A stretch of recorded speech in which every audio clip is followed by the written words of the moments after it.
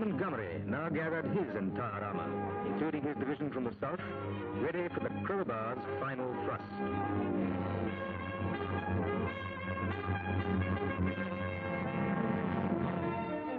The first phase was finished.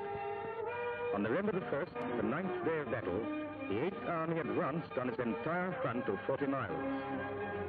But the blow we meant to be mortal was struck at the head of the bulge.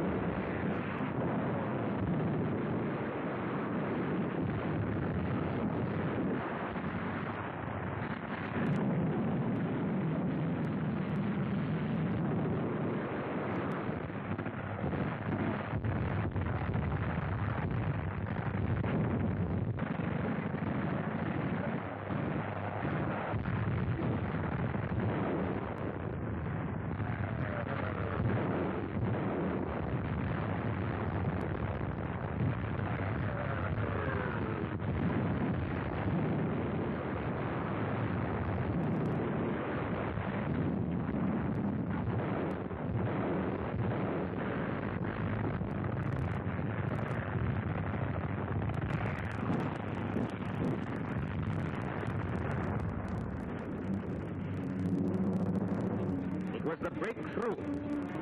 Within two hours, our light tanks were 40 miles behind Rommel's line, destroying his transport. The result was consternation and chaos.